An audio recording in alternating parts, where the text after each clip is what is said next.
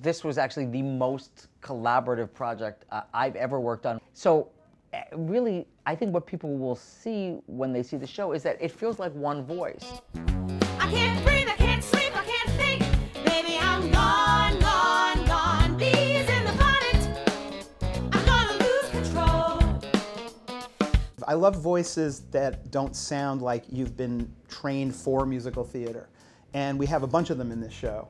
Um, I always lean towards that kind of thing. Um, and she has a very distinctive voice.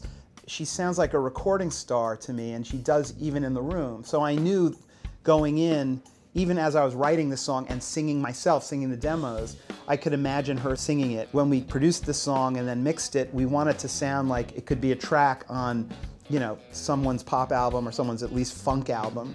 And I think we came really close uh, because of her. You really are. You're the guy who fucked it up. You really fucked it up. Listen, Mike, I know missed your opportunity. Comes tiptoeing and teasing. You're the kind of man who grabs him by the balls. What becomes apparent when you hear the song Two Things is the incredible bromance and relationship that these two best friends and roommates have. It sums it up beautifully, but also David and I made a decision early on with this character that he was going to be the voice of the audience. And he does it with both glee of the fact that he's enjoying watching Michael screw up his life, but also with sincere warning is, well, you got to figure this out. And Andy is able to capture both those things at the same time, and the song is one, without a doubt, one of the highlights of the show. It brings the audience so much joy at the top of the second act when we're trying to get them back into the show. And from that moment on, they just continue.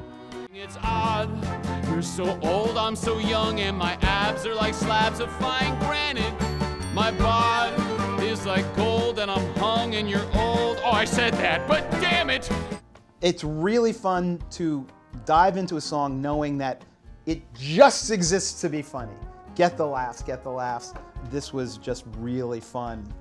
David does something in the middle of the song, which is you, we are so accustomed to hearing a, a traditional musical comedy song and the rhyme of that song played out in a certain way, and he throws two twists into the song that you don't see coming. And one of the joys every night of watching the show was hearing the audience. I know it's coming, and hearing the audience react to that, and and just the the the, the euphoria they feel when they realize, oh, they've been tricked.